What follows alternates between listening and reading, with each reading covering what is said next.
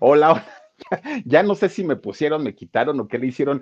Oigan, ¿cómo están? Me da muchísimo gusto saludarlos. Soy Felipe Cruz, el Philip. Gracias de verdad por acompañarnos en esta nochecita de jueves. Y aunque dicen los ñeros que no se dice viernes chiquito, yo digo que sí. Así es que bienvenidos sean todos ustedes. Prácticamente estamos en el arranque del fin de semana y es un gusto y un placer eh, saludarlos con mi peinado de Benito Juárez. Hoy sí parece que me voy a ir la, a la primaria, ¿no?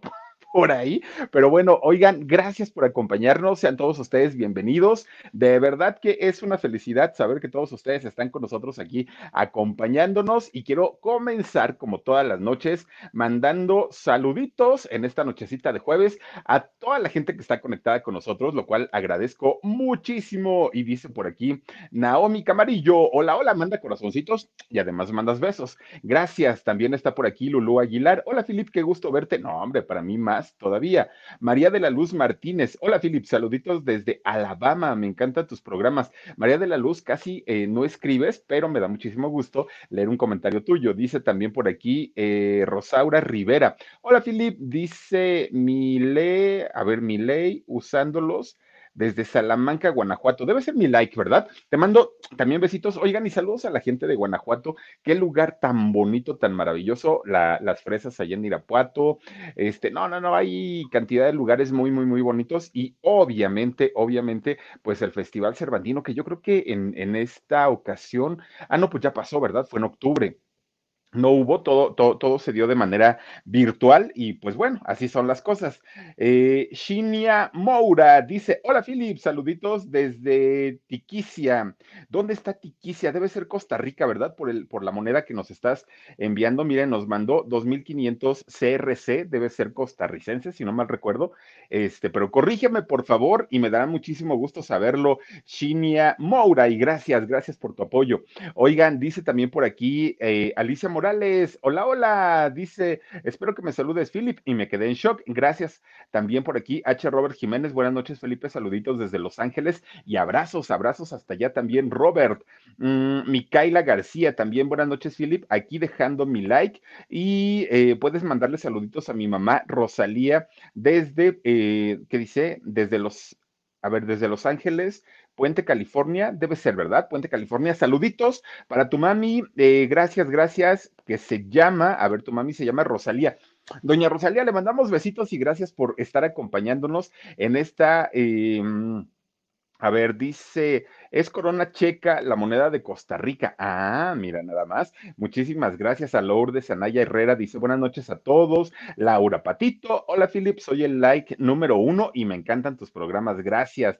También está mi Fer Reyes. Dice en primera fila, a ver de qué se trata. Hoy, mi Philip, buenas noches. Hoy vamos a platicar del rey del bolero ranchero. Fíjense nada más. Ayer justamente nos estaban diciendo, oye, Philip, pues, eh, ¿cuándo nos echamos una platicadita del mismísimo Javier Solís? Oigan, tiene una historia de vida, se ha contado mucho de, Javier Solís, eh, pues imagínense ustedes, siendo un personaje, habiendo sido un personaje tan importante de la época dorada del cine mexicano, pero además, bueno, su historia de vida es muy, muy, muy eh, padre, es muy bonita, es muy interesante, pero fíjense que tenía varias aficiones. Ahorita lo vamos a platicar. Dentro de, alguna de ellas, el box, fíjense que le entraba al deporte este muchachote, el baleón, muchísimas gracias, Philip, te admiro y soy tu fan. No, hombre, muchísimas gracias, Elba. Y entonces resulta que dentro de las cosas que, le agradaban, que le gustaban muchísimo, estaba eh, el box, pero también la lucha libre. La lucha libre que se considera como el deporte eh, nacional, ¿no? Como el deporte de México.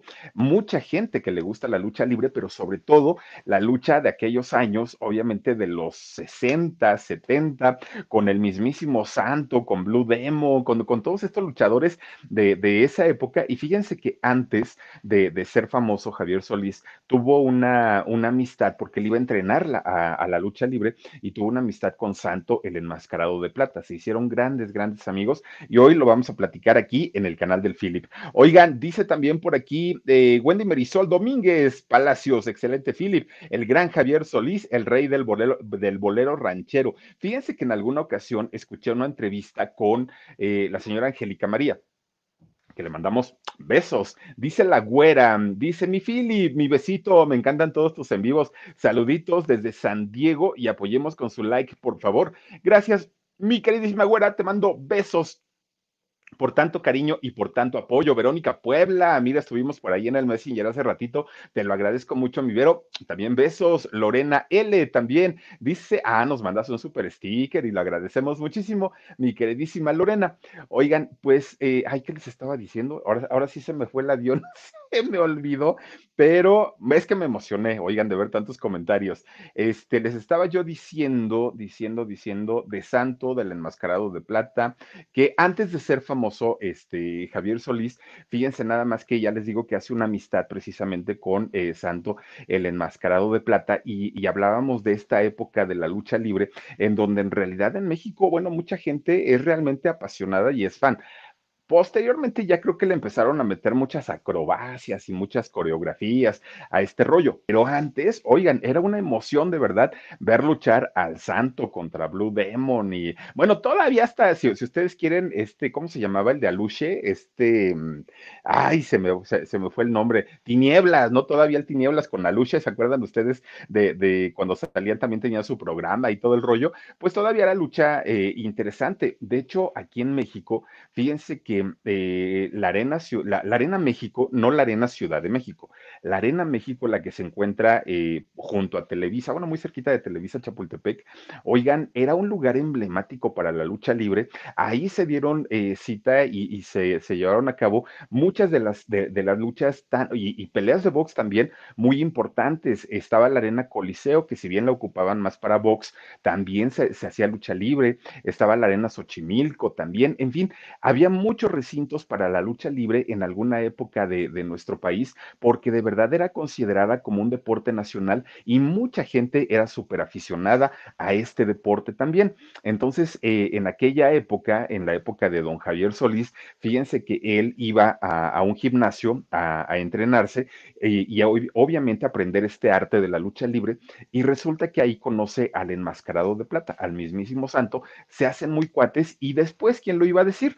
Que resulta que Santo, por, por su parte, como luchador, se hace muy famoso, hace películas y después don Javier Solís, pues qué tal que también nos, sorprende con eh, una eh, carrera muy corta, realmente, eh, miren nada más, ahí están los grandes amigos, Javier Solís y el enmascarado de plata. Fíjense que desafortunadamente la carrera de don Javier Solís duró poquito, solamente fueron 10 años los que tuvo em, en una carrera muy importante en cuestiones musicales.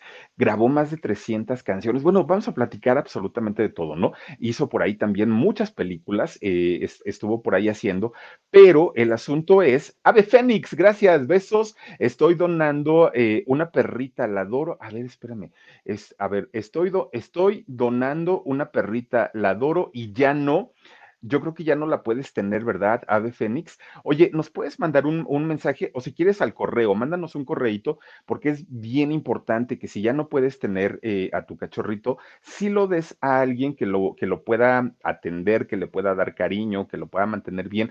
En esta temporada de frío, además de todo, imagínense ustedes, los perritos sufren mucho porque sobre todo los que están en la calle, ¿no? Entonces es importante y si ya eh, es mejor, ¿no? Decir, sabes que yo ya no puedo tenerlo por la razón que sea si hay alguien que quiera adoptar un cachorrito, pues ahí está, miren nada más, qué padre eh, detalle, que no los boten a la calle y mejor los den en adopción. eso es muy importante.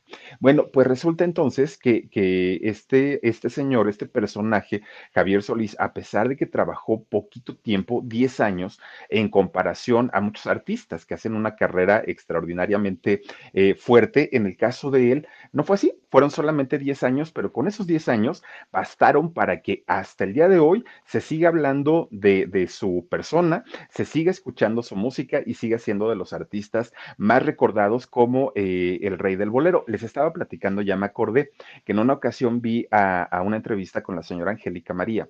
Resulta que ella, este, pues digo, extraordinaria cantante, actriz, aparte es un ángel de mujer, Angélica María, independientemente a lo, guapa, tiene un, carácter muy noble, muy bonito. Pero resulta que en una ocasión yo la escuché diciendo que eh, ella había sido la primer eh, cantante en interpretar el bolero ranchero. No, doña Angélica, no, no, no. Fue el mismísimo Javier Solís. De hecho, por eso se le conoce como el rey del bolero romántico, ¿no? Bueno, resulta entonces que este personaje, fíjense nada más, nace en el año 1931 Ahorita si viviera eh, Javier Solís tendría 89 años, para que ustedes chequense desde cuándo, ¿no? Ya, ya hace mucho tiempo. Resulta que su nombre real es Gabriel Siria Levario, así, así lo bautizan sus papás. De hecho, doña Juanita Levario, fíjense que es una, una mujer muy trabajadora, su, su mamá lo fue, y ella vendía, tenía un puesto de, de productos en un mercado. Entonces ella pues agarraba su diablito y se iba a poner su puesto y luego regresaba y todo el rollo. Su esposo, fíjense nada más, don Francisco, don Francisco Siria Mora, él era carnicero. Y entonces, pues ellos dos se hacen novios, se juntan, se casan y todo muy bien. Pero evidentemente, pues no tenían una vida así como ustedes que, digan, eh, sin problemas económicos, no, porque pues el trabajo de ambos era modesto. Gaby Israel Romano, te mando besitos, mi querida Gaby, gracias por acompañarnos. Oigan, también por aquí Rosy Ruiz nos mandas un super sticker y lo agradezco muchísimo. Te mando besos, mi querida Rosy. Entonces, imagínense, su mamá siendo comerciante, su papá siendo carnicero, hacen una familia. De hecho, tienen tres hijos. El mayor de ellos, Gabriel, a quien posteriormente conocimos como Javier Solís. Pues miren, dentro de todo no les iba mal pero eh, al, poco tiempo de que este, pues ya se forma la familia, como con los tres hijos, resulta que el papá de ellos, eh, don, don Francisco, pues de repente dijo, ay, no, es mucha responsabilidad estar manteniendo tres chamacos y luego todavía la señora, y luego estamos bien amolados de dinero, y lo, mejor me voy. Y entonces un día, pues literal, como lo hace mucha gente, voy por unos cigarros y nunca regresó. ¿No? El, el, papá, don Francisco. Dice el hijo primogénito del Philip y Gigi. Oh, ya tenemos dos, pues ya también el argüendero, ya ven que, dicen que es, nuestro hijo. Dice Sombras, nada más, es mi canción de la borrachera. Ay, chamaco, pues vamos a ponernos una luego tú y yo, ¿no? Porque sí se antoja. A mí, ¿saben cuál me gusta? La de Esclavo y Amo. Esa con Javier Solís me gusta mucho. Oigan, pues resulta entonces que este abandona este señor don, don Francisco a doña Juanita. La deja, imagínense ustedes en la pobreza total, tener que mantener a tres chamacos, tener que ir a poner su puesto a las cinco de la mañana, tener que regresar bien cansada, darles de desayunar, de comer, de cenar. No, bueno, la señora terminaba pues muy, muy, muy fatigada. Entonces resulta que eh, pues Javier estaba en ese momento pues muy, muy chiquito todavía. Entonces resulta que un día pues la señora ya no hallaba qué hacer porque decía, es que entre cuidar a un niño, entre cuidar al otro, entre que el otro ya me pide de comer, entre que no tengo dinero, entre que no hay ventas en el mercado, se empezó a, a ver una vida pues muy complicada a ella, ¿no, doña Juanita? No le quedó de otra más que hablar con su hermano, fíjense, con, con el hermano de ella, y le dice, oye, fíjate que... Eh, la situación está bien complicada. Tú sabes que este Francisco me abandonó, que me dejó con los chamacos, yo ya no puedo con, con tanto gasto, aparte las ventas en el mercado bajaron mucho. Entonces, fíjate tú, Valentín, eh, se llamaba el, hermano. Entonces tú, Valentín, pues mira, estás recién casado, este, tu esposa, eh, Ángela, pues se llevan bien, yo veo que tienen un buen matrimonio, todavía no tienen hijos. ¿Qué te parece si te haces cargo de, de Gabriel? Entonces el hermano, pues viendo la situación de, de, su hermana, viendo la situación del niño, cómo estaban batallando, le dijo, sí, pero que todo sea de manera legal, ¿no? Ahora sí que no quiero que en dos años me lo quites y no quiero que después te arrepientas y todo, me lo vas a dejar, pero me lo vas a dejar bien. Y entonces, pues con todo el dolor de su corazón, doña Juanita dijo, pues sí, está bien, ¿no? Pues si mi hijo va a estar mejor contigo, si no va a batallar tanto, este, obviamente toda la familia era una familia que padecían en cuestiones económicas. Sabía que no, no se lo estaba entregando a un hombre millonario, a un hombre rico, pero que iba a estar mejor que con ella, eso indiscutiblemente. Entonces resulta que este, pues ya le hace su, su, maletita, doña Juanita, agarra al chamaco y le dice, pues ahora sabes que, mijo, a partir de ahora te vas a ir a vivir con tus tíos con Angelita López y con tu tío este Valentín. Váyanse, este, pues ya, porque pues mira, yo aquí tengo muchas cosas que hacer. Pues ahí tienen que, que este Gabriel siempre supo la verdad, o sea, nunca lo engañaron y nunca le dijeron, ellos son tus verdaderos papás y yo este soy tu. No, no, no, no. Siempre supo quiénes eran, quiénes habían sido sus papás biológicos y quiénes lo habían criado, ¿no? Eh, que en este caso habían sido su, sus tíos. Bueno, pues resulta entonces que eh, la familia completa vivían en la zona zona de Tacubaya, de aquí de la Ciudad de México. La zona de Tacubaya, fíjense que aún ahora sigue siendo un, lugar muy popular, mucho, mucho, muy popular. Eh, hay eh, una estación del metro, que es el Metro Tacubaya, y ahí se juntan tres líneas de metro, que es la que va de, eh, que es Barranca del Muerto al Rosario, la que va de Tacubaya a Pantitlán y la que va de Tacubaya a, no me acuerdo cuál es la otra, pero es la línea amarilla. Bueno, se juntan tres líneas ahí. ¿Por qué? Porque ahí miren, así de gente, así de gente. Entonces, pues ahí se hacen los puestos, se hacen como los mercados, en fin, una colonia de verdad popular, pero, pero además de todo que tiene su magia y tiene su encanto, ¿no? Ahora, está rodeada de la colonia Condesa, que es una colonia, pues obviamente muy, muy, muy bonita y muy acomodada, de San Pedro de los Pinos, de la San Miguel Chapultepec, en fin, es, es como el centro de, hagan de cuenta como el centro comercial, miren, ahí está el Metro Tacubaya. Este, es como, como hagan de cuenta, es, eh, podría decirse que es como el, el centro eh, de comercio de, zonas acomodadas, ¿no? De aquí de la ciudad. Entonces resulta que en aquellos años, pues era todavía más popular esta colonia, la colonia Tacubaya. Ahí nace y ahí se cría este Javier Solís. Entonces, fíjense nada más, sus tíos em, lo, lo, empiezan obviamente a criar, le empiezan a dar educación, lo mandan a la escuela, fíjense que hasta eso sí, lo inscriben a la primaria y pues ya le empiezan a dar la atención para que eh, Gabriel empezara a estudiar. Lo hace el chamaco, fíjense, sí, se mete a la escuela.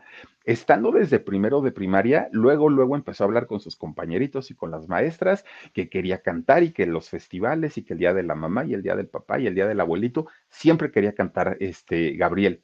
Pero cuando llega el quinto año de primaria, resulta que los tíos le, le dicen, ¿sabes qué, mijo? Híjole, pues, pues nos está costando mucho trabajo tu, educación, nos gustaría que siguieras pues la, la, secundaria, la preparatoria y todo, pero las cosas están bien complicadas.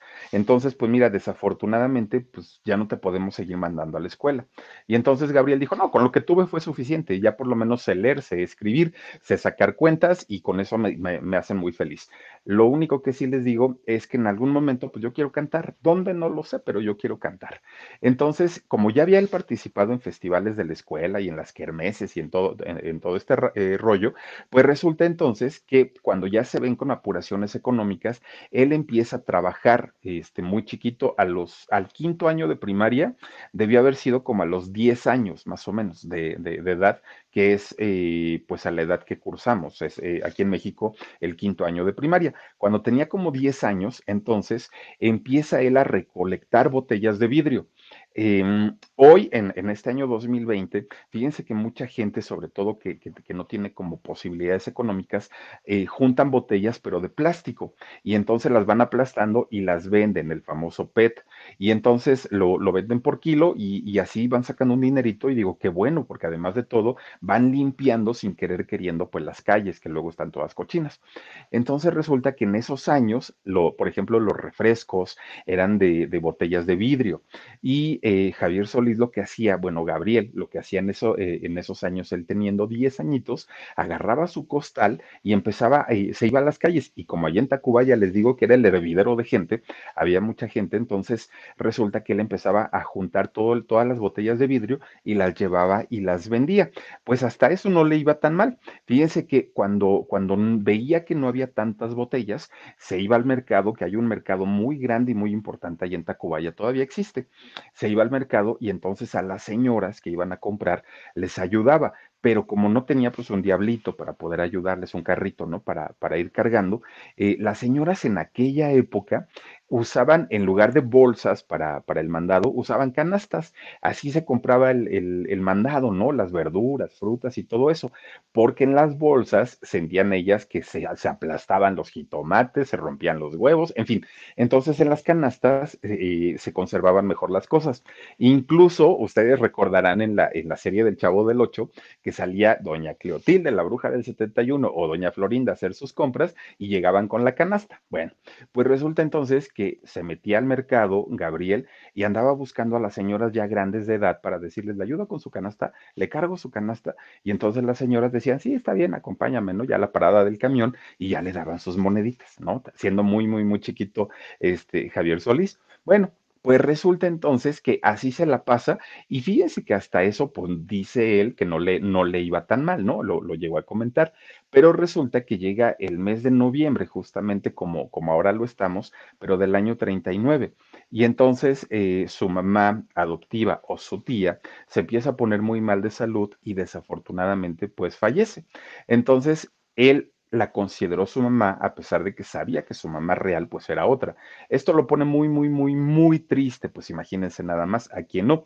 Pero aún así, él sigue buscando trabajo, pero, pero le prometió a su mamá pues que ya iba a buscar un trabajo un poco más formal, un poco más serio. Entonces es cuando empieza eh, ya con otro tipo de, de, actividades, se mete a trabajar de panadero, se mete a trabajar de carnicero, igual que su papá, se mete a, lavar autos, a, a, agarraba su trapito y empezaba a lavar los coches de aquella época, ustedes imagínense, ¿no? Y seguía cargando las canastas ahí todavía en, en el mercado. Era, hagan de cuenta, como Héctor Suárez en la película del Mil Usos, a lo que le pusieran a hacer a Gabriel, eso hacía sin ningún problema.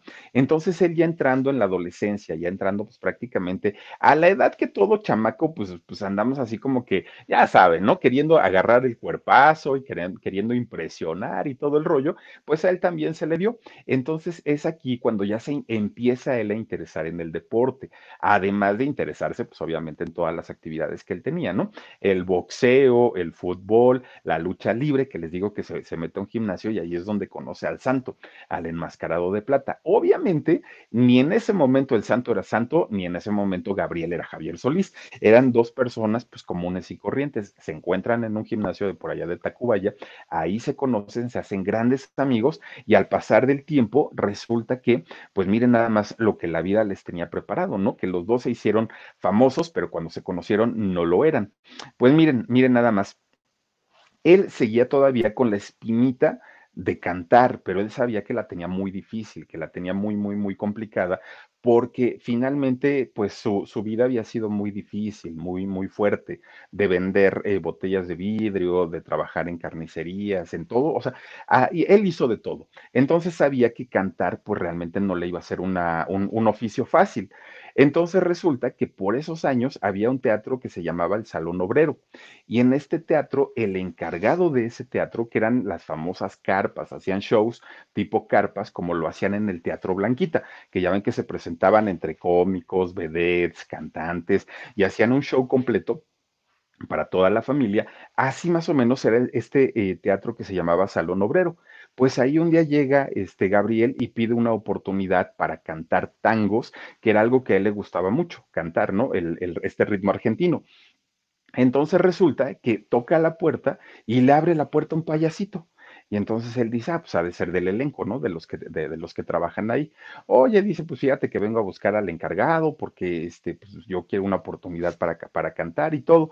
Este, y le dice al señor, sí, dime, yo te escucho. No, es que vengo a buscar al encargado, porque mire todo. A ver, este, yo me llamo Manuel Garay, este, yo soy el encargado del teatro, nada más que sí, también tengo aquí mi, mi participación. Ah, bueno, dice, pues mira, yo me llamo, este, yo, yo me llamo Gabriel y pues estoy eh, queriendo cantar, me gustaría pues que me dieran la oportunidad y todo. Pues, ¿cómo lo vería de necesitado el payasito, este señor Garay, Manuel Garay? Que le dijo, órale, te voy a dar chance para que cantes tus tangos, te echas dos, tres cancioncitas y pues ahí vamos viendo cómo, cómo se van dando las cosas, ¿no? Pues, pero le dijo, pero te voy a cambiar el nombre porque Gabriel, pues la verdad como que no, no, no, no, eso, no va a vender. Entonces eh, le pone el nombre de Javier Luquín y con el nombre de Javier Luquín lo, lo presenta, lo presenta ya en el, en el teatro y además lo empieza a mandar a diferentes concursos de canto. En uno de esos concursos, fíjense que de repente, este, pues empieza a acercar a los lugares, ¿no? Este, ya estás en el décimo, ya estás en el quinto, ya estás entre los tres primeros. No, pues el otro Javier Luquini, bien, bien, bien emocionado. Dice por aquí Sandimín, a ver, Philip, con esa voz que tienes, canta, porfa, y esclavo llamo. Al ratito nos lo echamos. Sí, sí, sí. No sé qué tienen tus ojos. A ver, dice eh, Yogi, mi mamá me contó que, ay, mira, que lo conoció, compraba la carne donde él trabajaba, también le llevaba serenata a las mujeres vecinas de mi mamá, me contó tantas historias de él. Oye, Yoyi, pues, pues mira, estaría súper interesante que un día nos, no, nos eh, contactaras con tu mami, que nos platique todas las experiencias, ¿no? De, de este, de, de, Javier Solís, debe ser súper, súper interesante. Y bien, ojo alegre, don, don Javier Solís, eso que ni que, oigan, se fue muy jovencito, pero ahorita vamos a ver todo lo que, todas las travesuras que hizo don Javier Solís. Oigan, pues entonces resulta, fíjense nada más que eh, ya se, acerca al tercer lugar el segundo lugar y dice, no, pues ya la hice, ¿no? Ahora sí que pues el, me, llevé el primer lugar. Luna Caracol dice, mi papá le llevó serenata eh, en un par de ocasiones con Javier Solís. Ay, a ver, dice, se conservan algunas fotografías en color sepia de esa noche. Mi mamá en el balcón, Javier y mi padre con el mariachi. ¿En serio, Luna? Oye, pásalas, mándalas por el correo y aquí las ponemos ahorita para que conozcamos a tu mami y además pues ver cómo le llevó serenata a Javier Solís. Eso debe haber estado bien padre, ¿verdad? Si puedes, mándalas, órale. Ojalá las puedas poner antes de que terminemos de, transmitir y las ponemos aquí ahorita para que la gente conozca, eh, conozca pues esa faceta de Javier Solís acompañando a los amigos, obviamente, a llevar serenata. Bueno, pues resulta entonces que cuando anuncian en este concurso de de, canto que, que, Javier Solís pues había ganado, bueno, Javier Luquín había ganado, pues que le van entregando su premio, oigan, el premio un par de zapatos. Lo agradeció mucho y dijo, pues sí me caen re bien porque ya los traía rotitos, ¿no? Pero, oigan, él pensó que le iban a dar otro regalo, otro premio, este, pues un dinerito o algo. No, pues le dieron su par de zapatos. Dijo, pues ya ni modo. Entonces, muy cantante, muy en las carpas, muy en todo, pero sin dinero porque pues, todavía no había pagos.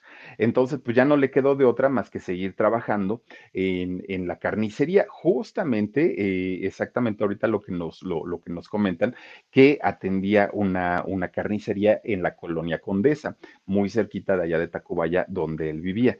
Pues ahí, fíjense, él despachando su chambaretito, este, su, su, este, ¿cómo se llama? Hueso con tuétano, él despachando ahí su, sus cositas en la carnicería, pero mientras cante y cante. Entonces, entonces ahí estaba cantando, ¿no? La de Esclavo Llamo y la de esta entrega total, llévame si quieres hasta el fondo del dolor.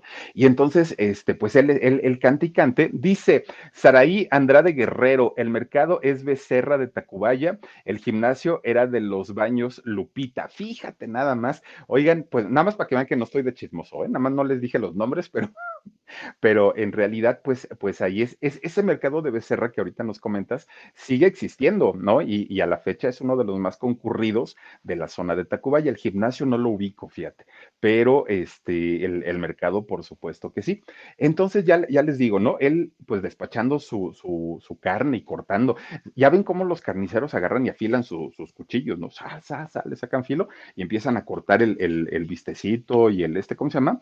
El, el suadero con gordito y bueno, él ahí muy, muy feliz trabajando en, en la carnicería y resulta que eh, de repente pues el cante y cante y lo escucha quien era su patrón. El que era su patrón nomás lo estaba, oye, y oye, y oye, y decía, ay, este chamaco qué bonito canta, ¿no? Qué bonita voz tiene. Y entonces este señor David Lara, el dueño de la carnicería, fíjense nada más que eh, se queda pensando y dice, a ver, si este chamaco que nunca le han enseñado a cantar canta bonito, ¿qué pasa si le pagamos un curso de canto? A lo mejor pues lo hace mucho mejor y al ratito pues ya de ahí recupero yo mi dinerito. Entonces le dice, a ver tú, chamaco, ven para acá, ¿no? Este, a ver, platícame, ¿estás cantado? Sí, señor, yo he cantado en alguna carpa y de repente llevo serenatas con las chicas y todo el rollo, y este, pero pues nunca lo he hecho así en forma grande. Entonces le dijo, ¿y te gustaría aprender de, a de veras? No, pues aquí no, señor, pero pues no hay dinero, ahora sí que pues es el trabajo, la comida o, o la renta, pues ¿qué hago?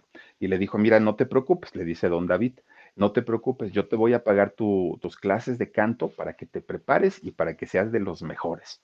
Y le dice Javier, bueno, ¿y a dónde me va a mandar, señor? Mira, te voy a mandar con el maestro Noé Quintero. ¿Quién pasa a ser el maestro Noé Quintero? todos los cantantes de aquella época, todos, todos, todos, hombres y mujeres, pasaron por las instrucciones de don Noé Quintero, un maestro de canto de la época de los mejores. Y entonces resulta que lo manda con él y lo empiezan a preparar. Bueno, Pues a partir de aquí, fíjense nada más, ya empiezan a llamar a Javier, a Javier Luquín, todavía en ese momento, a diferentes lugares, a diferentes restaurantes, y lo que él cantaba era tango. Dejó de trabajar, obviamente, en la, en, la carnicería y empieza a, a, formar parte ya también de algunos grupos, sobre todo de algunas, eh, como, como tipo de, de, mariachis entre estudiantinas, entre mariachis y entre todo esto.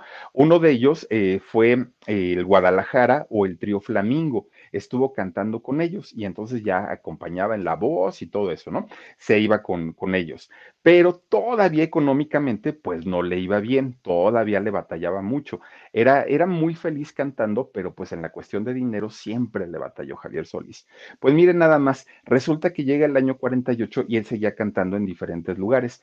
Entonces, eh, aquí es cuando ya se decide y dice, a ver, pues es que no puedo servir a dos amos y, trabajo en la carnicería, me quita tiempo. Y trabajo en la música y me quita tiempo para la carnicería. Ya tengo que decidirme finalmente una u otra cosa. Y entonces en el año 48 le da las gracias a, a don David, que fue el dueño de la Providencia, esta carnicería que estaba en la colonia Condesa.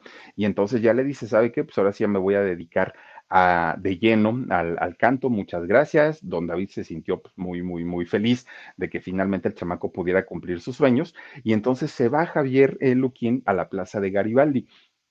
Oigan, esta plaza de Garibaldi, que a lo mejor en la actualidad, en este 2020, es un lugar descuidado hasta cierto punto, muy inseguro, muy, muy, muy inseguro. Y miren, nos gustaría decir que es de los lugares más bonitos de México y que tiene tradición y que tiene cultura y la música y el mariachi y los extranjeros, los turistas y todo esto. Sí, pero también hay una realidad. Desafortunadamente es, es, un lugar que se descuida tanto durante tanto tiempo que hoy por hoy es muy peligroso, es muy riesgoso andar por ahí en la noche. Eh, quienes salen más perjudicados obviamente son los, los, lugares y los mariachis, que, que, que es un, un, un, un, ¿cómo les diré? Es algo que, que es un atractivo para toda la gente que nos visita de otros países porque les, les, llama mucho la atención ver a, a, los hombres mexicanos con estos trajes de gala, con los sombreros enormes, con sus instrumentos musicales y cantando la música bravía y cantando la música de México. El problema es que mucha gente ya no va, ahorita por dos razones, una la pandemia y la otra pues obviamente también por la seguridad que no es muy buena en este lugar. En aquellos años pues obviamente hablamos pues de otro tipo de Garibaldi. Entonces se traslada Javier Luchini a allá, Luquín, perdón, a, este, a la plaza de Garibaldi y se empieza a juntar, a asociar con, con mariachis, con grupos y empiezan a tocar. Bueno, los contratan, fíjense nada más, en el Tenampa. Este lugar, híjole, bueno, eh, yo creo que medio mundo conoce el Tenampa, ¿no?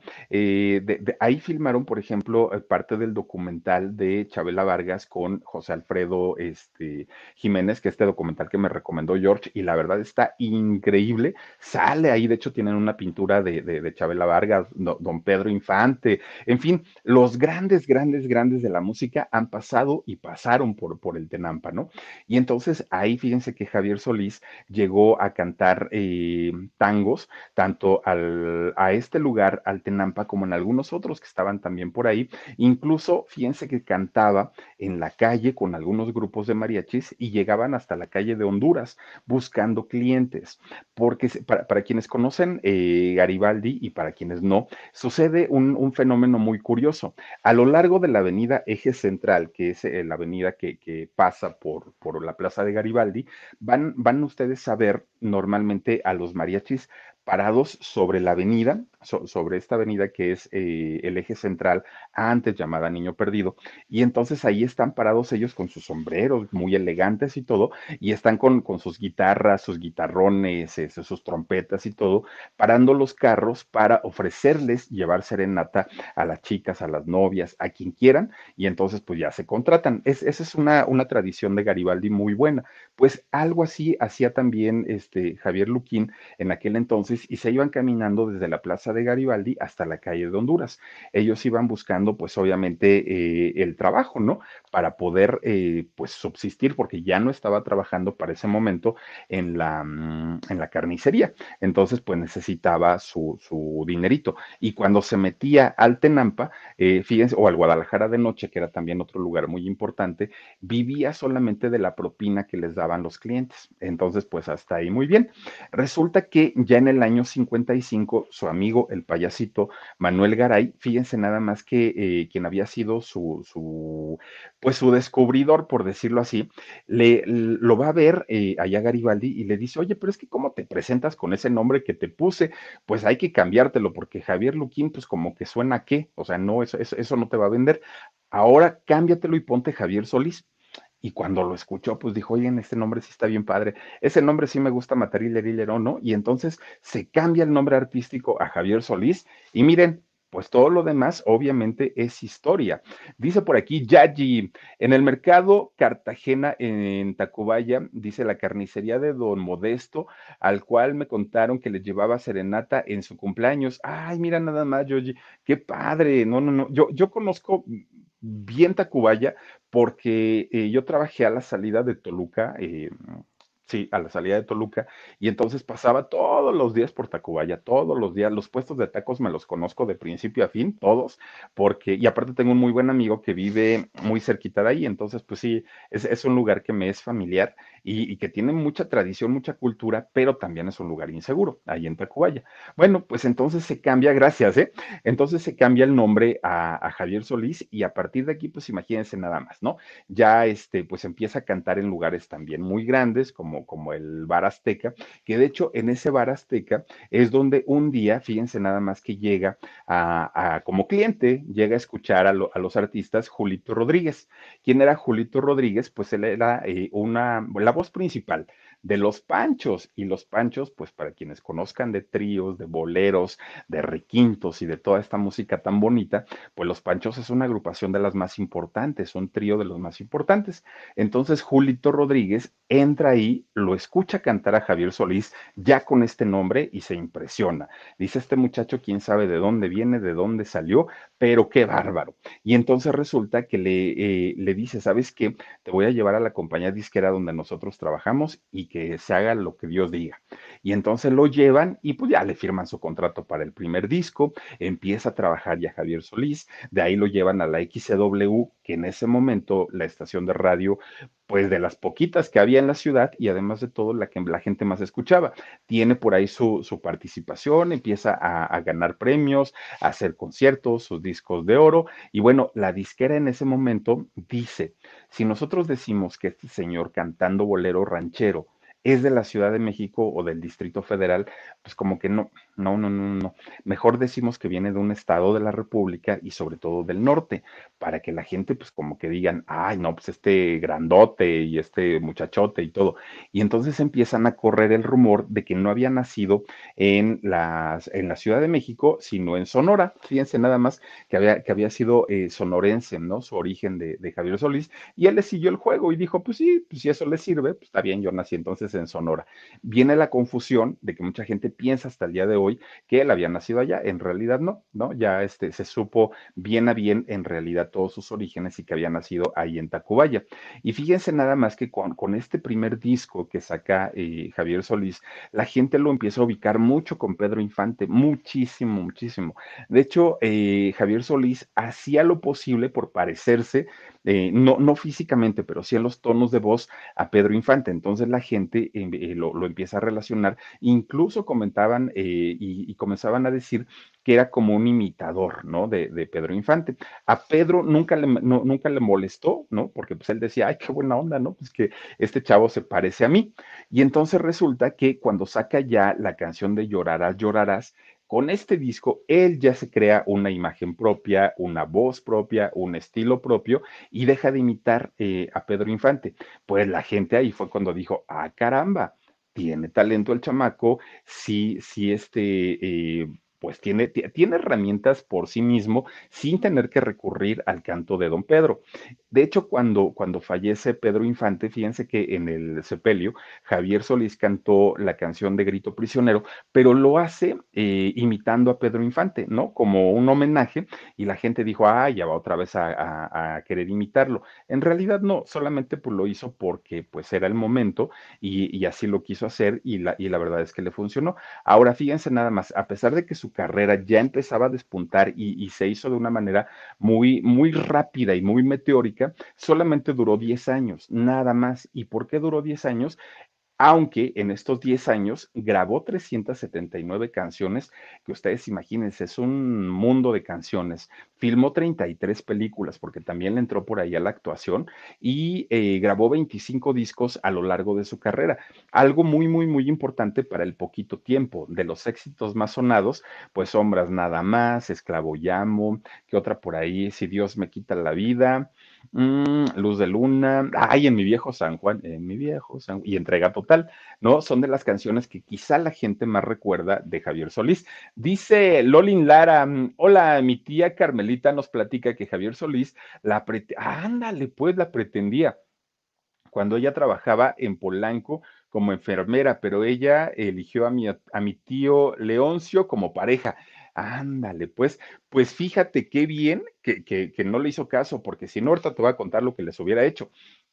Berta Moncayo dice, Javier Solís era un gran cantante, tenía una voz maravillosa. Philip, tú, Gigi y todos productoras 69 son lo maxi. Ay, gracias, te mando besos. Sombras nada más, dice Mencionaste dónde nació, en mi, eh, ¿qué dice? En mi querido barrio, en el hospital homeopático de la colonia obrera. ¿Cómo crees? Fíjate nada más, en el hospital homeopático. De hecho, te voy a platicar que yo creo a partir de ahí le agarró mucho cariño a la homeopatía, porque cuando se enferma, ahorita les voy a contar qué pasó ahí. Bueno, pues resulta entonces que en el año 65, en 1965, él se empieza a poner mal de salud, empieza a sentirse mal fue al médico, pero miren, ay, bueno, no, no, no lo sé. Yo, yo, yo creo que la, la homeopatía, y se los puedo decir por experiencia propia, es, es una, una medicina muy buena.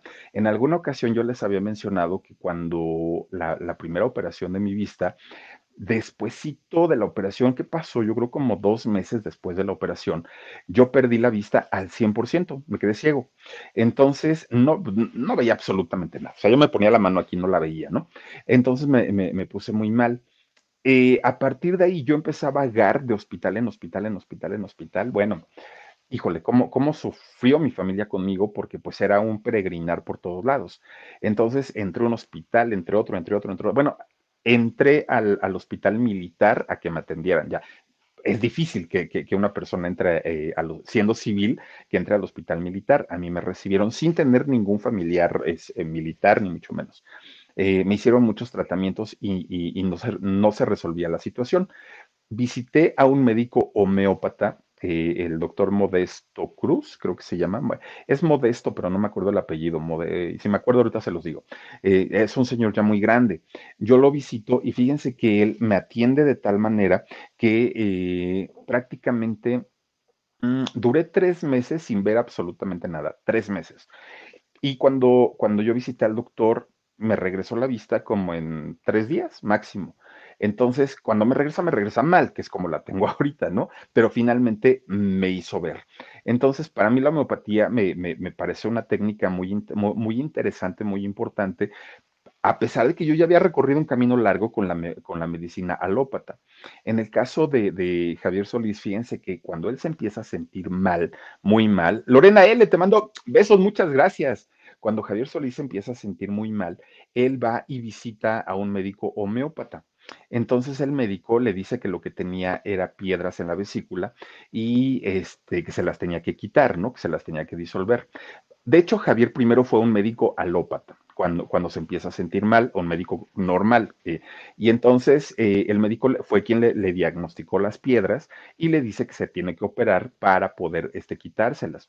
Javier va con un médico homeópata y entonces es el que le dice, mira, no te preocupes, yo con una medicina homeópata, tus chochitos, te voy a quitar, a disolver la, las piedras, entonces ya no te preocupes. Y efectivamente se empieza a sentir mejor de salud eh, Javier Solís. Aquí lo, lo, que sí les quiero comentar es que no todos los que dicen que son médicos homeópatas lo son. Quienes son, evidentemente, son muy buenos, ¿no? Y, la medicina funciona también combinada con la medicina normal, con la medicina alópata. Pero hay muchos que dicen que son doctores y en realidad no lo son. Y aquí es el problema, porque uno se confía o se va con la finta de que son médicos y en realidad no, son, son terapistas, terapeutas que, que estudiaron un cursito y entonces ya con eso ya dicen que son médicos. Pues entonces eh, le, le, dan sus su chochitos a Javier Solís y le dicen, con esto se van a disolver las piedras, tú no te preocupes, todo va a estar súper bien. Se empieza a sentir mejor. De hecho, fíjense nada más, eh, el, rollo aquí con él era que no quería operarse porque le tenía mucho miedo a los quirófanos, le tenía mucho miedo a los doctores. Entonces, cuando el médico homeópata le dice, este, bueno, o quien dijo ser un médico homeópata, le, le dice que con los chochitos se va a componer y no va a requerir el, el quirófano, pues se pone muy feliz y se deja atender por él. Esto hace que la enfermedad siga avanzando y en realidad lo único que le daban pues eran calmantes, eran tranquilizantes para el dolor. Entonces él, como empieza a sentir mejoría eh, de, su malestar, pues regresa a trabajar. Todavía él eh, hace su, su, última película, ahorita les voy a decir cómo se llamó esta, eh, esta última película que filmó todavía, y entonces regresa está trabajando él, en esta película, Juan Pistolas es la película, y entonces eh, resulta que en, una de las escenas de la, de la, película que estaba filmando, él ya con el tratamiento eh, homeopático, tenía que mover unas cajas de un lado a otro, y resulta que estas cajas no eran de utilería, eran cajas reales y estaban muy pesadas. Entonces, cuando levanta, hace el esfuerzo para levantar las cajas, siente un tirón espantoso en el estómago, el dolor le regresa, pero le regresa de una manera muchísimo más fuerte, lo llevan al hospital, cuando lo llevan al hospital le dicen, mira, las piedras se salieron de la vesícula, ya no las tienes ahí, se están regando y se están esparciendo y esto pues es operación, pero ahorita, ahorita mismo. Y entonces, pues ya no le queda de otra eh, a Javier más que aceptar el, el que lo operen, le, le, hacen la operación y sale perfectamente bien de la operación. ¿eh? Javier Solís no, no tuvo complicaciones y entonces su familia comienza eh, a darle las atenciones de la convalecencia y siguen todo al pie de la letra, sin, sin moverle nada a lo que el doctor le, le, le, había dicho, ¿no? Pero resulta que algo que le habían prohibido eh, a Javier Solís era tomar agua, no podía mientras estaba la recuperación. Entonces, lo único que sí podía hacer era eh, que le podían dar un hielo y a través del hielo eh, podía chuparlo, morderlo y entonces hidratarse de esa manera. Pero él tenía mucha sed. Entonces eh, resulta que un día eh, estaba su familia con él, pero se salen a hablar con el doctor, lo dejan solito un momentito y entonces había una jarra con, con, con agua y había un vaso. Pues él así malito, malito, se, se, levanta, se sirve su vaso con agua y se lo toma, pero como desesperado. Entonces el médico que le había prohibido que, que tomara agua, que no podía hacerlo, pues resulta que en ese momento se empieza a poner más mal, se empieza a poner más mal y desafortunadamente eh, fallece por un paro respiratorio. Le da un paro cardíaco, pero obviamente a consecuencia de, de esta situación, porque se, dicen que la, la, versión que, cuentan es que fue de, de, estar hidratándose de a poquito, de a poquito, de a poquito, de repente le metió un, un vaso completo de una manera desesperado y ahí fue cuando eh, de inmediato pues entra en un paro respiratorio y, y fallece fallece lamentablemente eh, Javier Solís. Entonces, fíjense nada más, de hecho, él cuando ya estaba, eh, ya se sentía muy mal después de haberse tomado el agua, todavía él dijo que me rieguen con mucha agua a mi tumba, sé que voy a morir, esto ya no tiene remedio. Todavía alcanzó a decir esas palabras antes de, de, de fallecer porque pues él sabía que esto ya, ¿no? Ya, ya, ya, eh, pues era inminente su, su partida. Entonces resulta que para el funeral, imagínense ustedes que está, pues para empezar fue una conmoción porque él tenía 34 años de edad, estaba realmente muy, muy, muy jovencito una carrera que prometía para, para hacer una carrera muy grande y resulta que entonces estaba en el funeral y de repente pues eh, la gente lloraba, la gente estaba muy, muy, muy triste, muy desconcertada y todo, cuando de pronto, pues fíjense que llega una mujer eh, al funeral llamada Enriqueta Valdés. Entonces, pues ya le preguntan, bueno, ¿y usted quién es? Y no, no, no, yo soy Enriqueta Valdés y pues vengo a llorarle a mi, a, mi difunto esposo, ¿no? Ah, bueno, pues pásele, doña Enriqueta, pues sea usted bienvenida. Después llega este Socorro González. Y Socorro González, pues ya le vio usted que, no, pues es que yo soy esposa de, de Javier Solís y pues vengo a llorarle a mi difunto. Ah, caramba, pues cero y van dos, pues pásele y pues llórele, ¿no? Pues a gusto. Entra la tercera. No, pues, ¿y usted cómo se llama? No, pues yo me llamo Yolanda eh, Molinedo. Ah, caramba, ¿y usted quién es? Pues soy la esposa legítima y vengo a llorarle a mi difunto esposo. Pues pásele, pues ya que le hacemos, ¿no? Y llega una cuarta. No, pues ¿y usted cómo se llama? Pues Blanca Estela Sáenz, que de hecho ella fue la última esposa de, de, Javier con quien tuvo dos hijos, Gabriel y Gabriela. Y entonces, pues también, y dijo, no, no, no, no, no, aquí la que manda soy yo y mis chicharrones truenan porque yo soy la última, ¿no? Y la verdadera, oigan, don Javier se en cinco ocasiones. Fíjense, 34 años, cinco matrimonios, cantidad de hijos, dicen que fueron más de nueve hijos, eh, cantidad de hijos que tuvo y, y, no, que no se divorciaba. Le gustaba casarse, pero no se divorciaba. Y entonces cuando ya se hartaba, ya se aburría, pues ahí nos vemos y se casaba otra vez y se casaba otra vez. Imagínense ustedes si por ser vígamos en México se van a la cárcel, ahora teniendo cinco mujeres, pues estaba peor todavía, ¿no? ¿Y qué era lo que reclamaban las cuatro mujeres en ese momento? Le faltó una que no llegó, pero ¿qué le reclamaban eh, a don Javier Solís? Pues obviamente la herencia. Obviamente ellas decían, no, miren qué guapa, eh, ellas decían, pues yo quiero, este, la, a mí me corresponde la fortuna de, de, de mi esposo, todos los bienes, todas las propiedades, que eh, pues él trabajó, ¿no? Porque pues yo fui su esposa y esto y aquello y el otro. Bueno, pues se hizo ahí el zafarrancho, ya, ya, ya, ya hagan de cuenta que lo que importaba pues en realidad no era tanto la situación que estaba pasando, sino más bien que todo el mundo dijo, ¿cómo es posible que cinco matrimonios haya tenido don, don este, Javier Solís? Y pues así fue.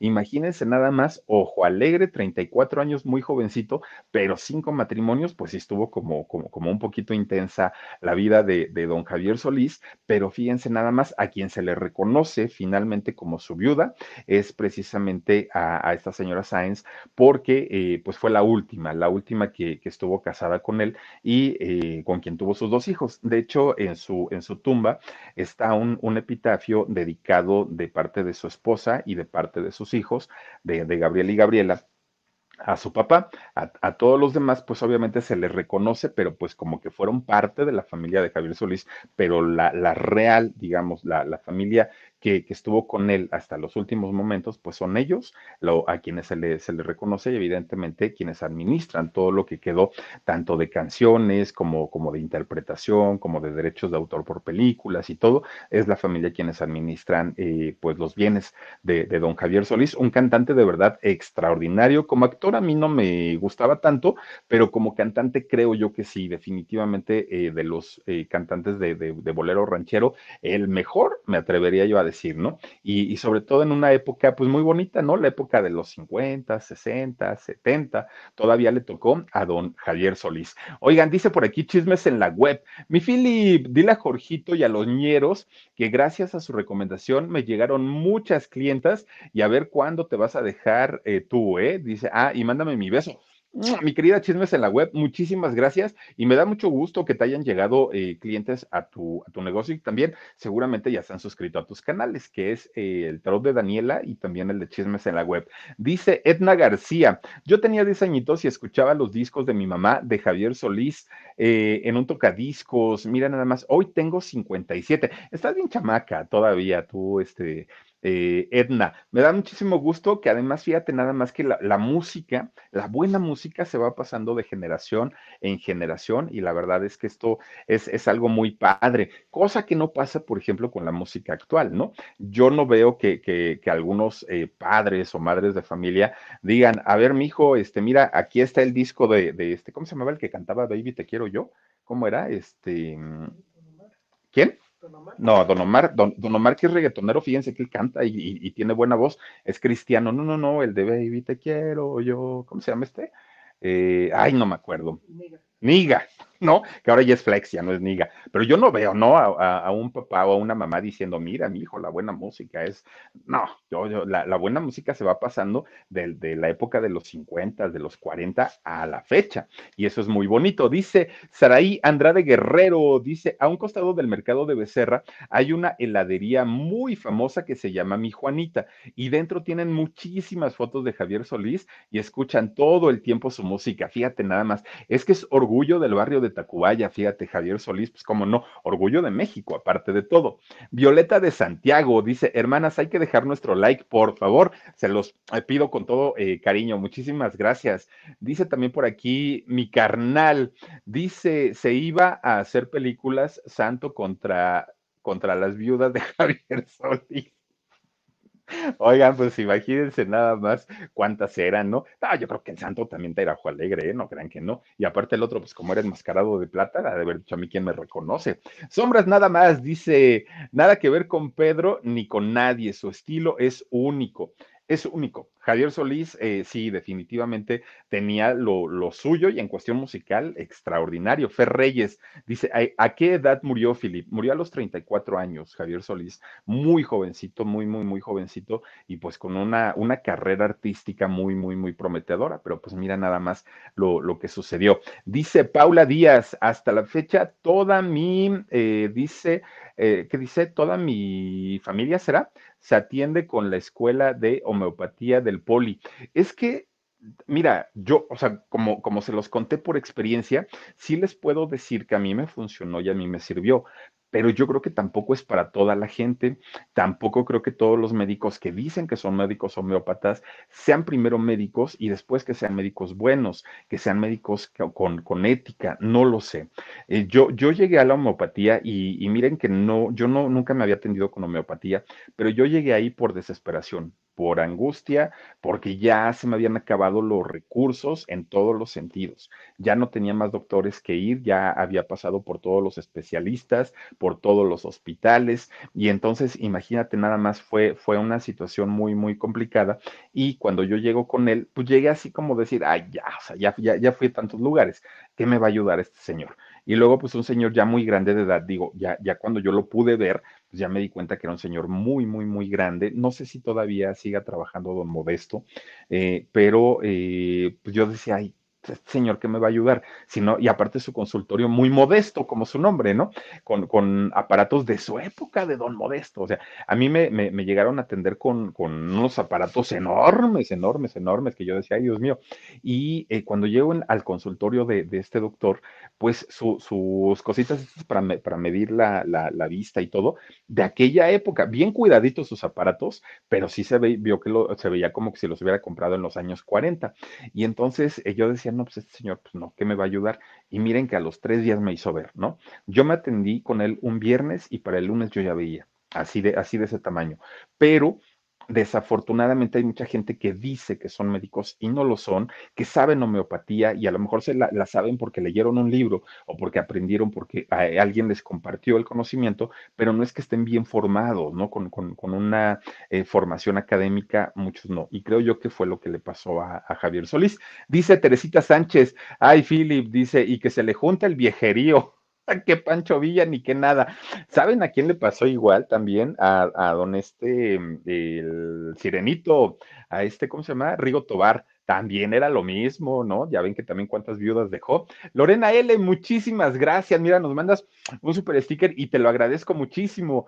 Eh, Marce Carmen, orgullosa, no dice, or, sí, orgullosa potosina, dice la canción, cuatro sirios, fíjate nada más. No, es que eh, te digo, mira, casi 400 canciones, o sea, no fueron poquitas. Y de ahí, pues, sus 33 películas, sus 25 discos. O sea, su carrera iba para arriba, para arriba, para arriba, para arriba, y de repente desafortunado, ¿no? Lo que pasó. Dice Guadalupe Amparo Díaz Herrera, saluditos, abrazos y bendiciones, Felipe Cruz, con todo cariño y afecto fraternal y todo respeto, ¿va? Esclavo y amo, entrega total, sombras nada más, las rejas no matan y etcétera, etcétera, etcétera. Te queremos mucho. Muchísimas gracias, Guadalupe Amparo. Oye, de verdad que sí. Gracias. Y también tenemos por aquí a Lux Guerra. Dice, saluditos, mi querido Philip. Mándanos saluditos a mi mamá Carmen y a mí. Hoy en la mañana escuché Esclavo y Amo. Fíjate, estábamos conectados. Muchísimas gracias y saludos a tu mami también. Suri River, te quiero guapo. Gracias, mi Suri. Te mando también besotes. Y por último, tenemos aquí, a ver a quién, Fabi BC. Hola, Philip, mándame un saludito, me encanta tu programa. Gracias, Fabi. De verdad, gracias a todos ustedes por haberse conectado con nosotros en este viernes chiquito. Ya sé que a los ñeros les, les, fastidia eso, pero pues ni modo, hay que se aguanten un ratito. Oigan, de verdad, gracias, gracias, gracias por eh, haberse conectado con nosotros, por habernos acompañado en, en esta nochecita. Ojalá pues, les haya eh, agradado la plática que tuvimos. Si es así y todavía no están suscritos al canal, por favor, háganlo, nos ayudarían muchísimo. Y también déjenos un like, también eso nos favorece muchísimo aquí en YouTube, en la plataforma. Eh, dejen su comentario. Ya saben que poco a poquito ahí los vamos revisando. Ahí vamos contestando también los mensajes. Y eh, tenemos cinco canales. Y digo tenemos porque pues ya trabajamos en bola, ¿no? Bueno, seis. Ahí les va. Productora 69, Jorgito Carvajal, Paper yo, El Philip, el alarido y ya se unieron los, los, hijos adoptivos, los ñeros con su barrio deportivo. Oigan, están divertidísimos estos chamacos, ahí chequenlos por favor. Hacen sus en vivos todos los días a las 5 de la tarde, ahí chequenlos, apóyenlos, ojalá que si puedan. Me da muchísimo gusto eh, haber compartido con todos ustedes esta nochecita. Cuídense mucho, descansen rico. Dice Philip, ya no cantaste, Candy Cometa. No, pues, ay, no, no, no, no, no, es que no sé qué tienen tus ojos, no sé qué tiene tu boca, que cuando... Ya, ya, ya.